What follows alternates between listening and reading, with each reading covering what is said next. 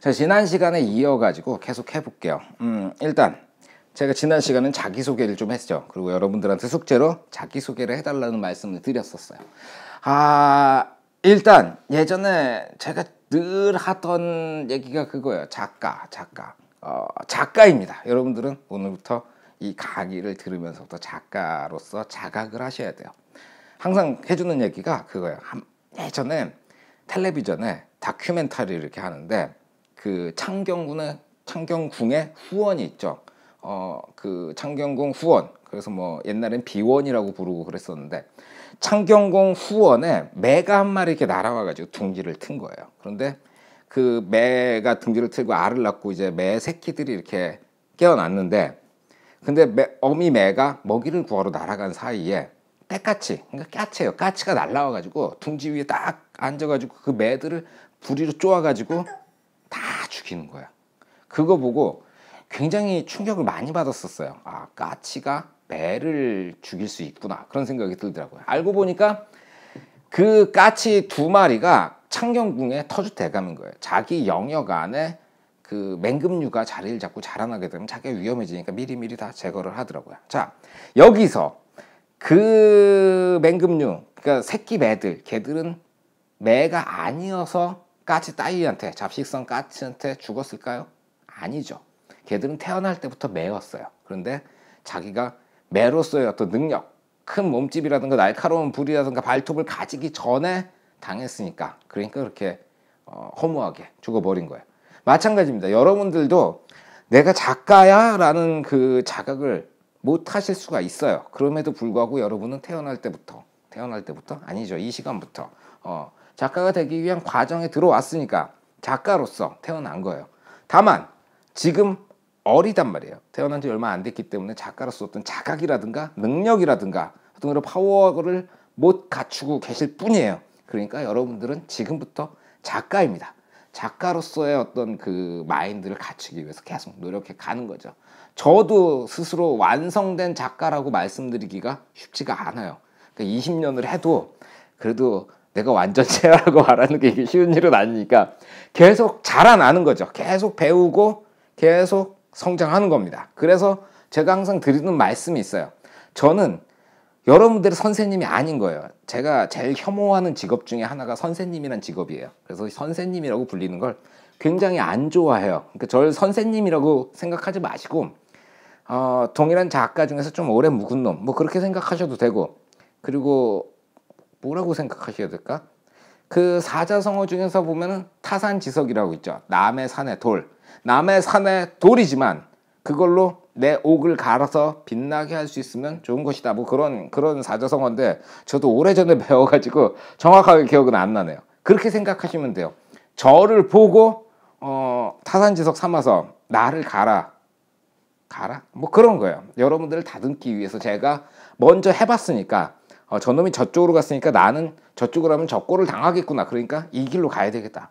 방향을 여러분들이 저를 보고 판단을 하셨으면 해요. 그러니까 무분별하게 제가 뭐라고 말씀드린다고 해가지고 그걸 100% 신뢰하거나 그걸 믿지 마시고 그걸 자기에게 적용하면서 아 이건 나한테 맞는다 그러면 그냥 적용하시면 되고 이건 아닌 것 같아 그러면 자르세요. 그러니까 저는 일종의 그냥 그냥 이정표라고 생각하시면 돼요. 그러니까 저를, 저를 부를 때는 그냥 딸캥님 이렇게 불러주시면 족합니다. 자, 다음은, 다음은, 다음은 뭘 얘기를 해야 돼? 음, 작가에 대해서 말씀을 드렸고요. 아, 그 다음에 또 여기 써놓은 거 보니까 재능이네요, 재능. 아, 재능. 재능. 재능이 중요합니다. 음, 여태까지 제가 뭐라 그랬냐면은 재능이 없어도 대체되는 재능들이 있죠. 저 같은 경우에는 손 떨어요. 그래서 삼각대를 굉장히 잘 써요. 어, 저만큼 삼각대 쓰는 사람들 본 적이 없는 것 같아요. 삼각대를 막 빙글빙글 돌리고 저 별짓을 다 하거든요. 아, 그게 손을 떨기 때문에 나온 어떤 대체 재능이라는 생각이 들어요. 그냥 그 손을 안 떨면 최고죠. 어. 그냥 손으로 들고도 1초씩 막 찍어대는 분들이 있어요. 그러면 좋은 거예요. 그게 재능입니다.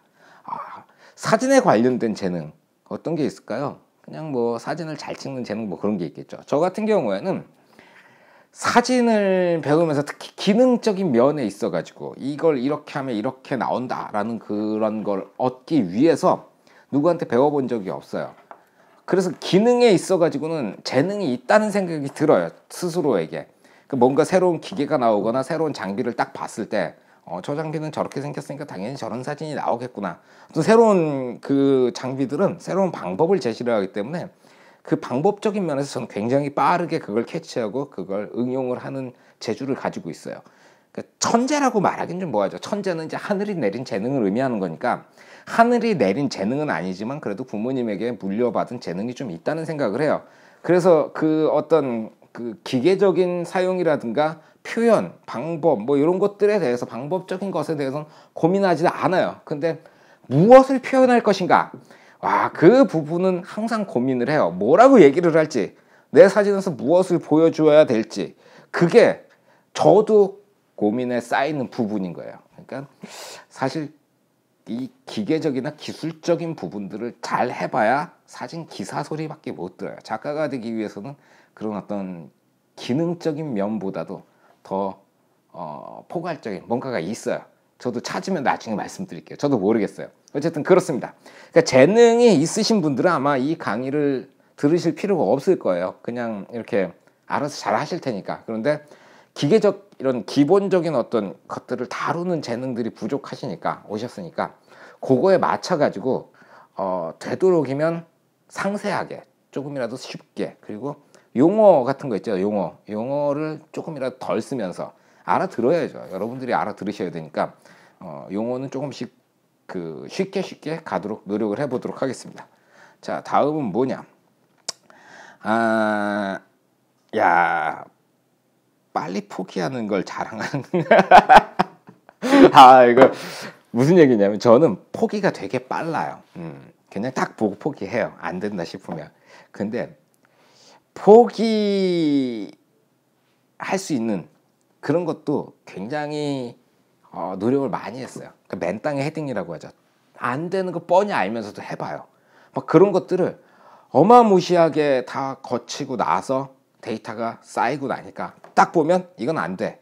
응, 왜? 그런 결론을 내리기까지 수천 장, 수만 장 그걸 찍어 봤어요. 지금까지 찍은 사진이 400만 장이 넘어요. 그리고 500만 장은 안 되는 것 같아요. 그 400만 장 중에서 연사로 찍은 게 그렇게 많지 않아요. 저는 이렇게 한 장씩 한 장씩 싱글샷을 촬영을 좋아하거든요. 그래서 엄청나게 찍어봤는데 예를 들자면 뭐 4대 고궁이 있죠. 4대 어, 고궁에 있는 모든 건물들을 다 찍어본 적이 있어요. 근데 뭐 그게 크게 도움은 안 돼요. 어쨌든 모든 건물 다 찍어보고 뭐 한강변에 이렇게 다니면서 보이는 높은 건물들 있잖아요. 옥상을 올라갈 수 있는 건물이면은 대부분 다 올라가 봤어요. 뭐 경비 아저씨한테 뭐 바카스 사다 드리고 올라가 본 건물도 있고 막 그래요. 그러니까 굉장히 많은 것을 해보고 나서 그 빠르게 포기할 만큼 음, 그만큼 데이터를 확보했다는 거죠. 그러니까 여러분들도 아, 참 이거 애매한 얘기다. 내 자랑하려고 논 얘기라서 여러분들 해보셔야 돼요. 그만큼 해보셔야죠. 그래야 답이 나오니까요.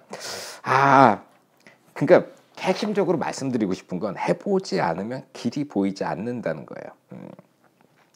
흔들리는 사진, 그렇죠. 흔들리는 사진이 몹쓸 사진인가요?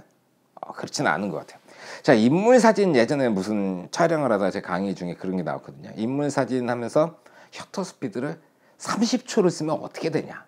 어, 그 사진 쓸 수 있겠냐? 모든 수강생들이 다 그걸 보면서 30초짜리 인물 사진은 조금 애매하지 않아요? 그런 생각을 가지시더라고요. 그런데 옛날 옛날에 막 100년도 전에 200년도 전에 어, 인물 사진의 셔터 스피드는 상당히 길었었어요. 순식간에 막 이렇게 퍽 찍어내는 게 아니고 카메라를 딱 설치를 해놓고 그리고 그 앞에 사람들이 이렇게 딱 정장 잘 차려입고 다 앉아 딱 앉아가지고 그래가지고 딱 이렇게 한 곳을 딱 쳐다보면서 그냥 편안하게 앉아서 딱 이렇게 어 그리고 셔터를 30초 딱 눌러놓고 그러고 있으면 사진이 나와요. 어, 지금 나온 김에 한번 찍어 봅시다. 음.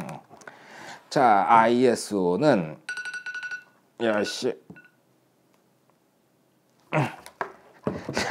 타이머가 울었어요. 자, 아, 지금 나온 게 어, 저를 30초 동안 촬영한 사진이에요. 이렇게 나옵니다. 그래도 우리가 익히 알고 있던 사진이랑은 조금 다르지만 그래도 사진이라고 부를 만 하잖아요. 그러니까 여러 가지를 경험해 보시게 될 겁니다. 그리고 경험하기 위해 노력하시게 될 거고요. 자, 오늘은 여기까지만 하죠. 수고하셨습니다. 필승!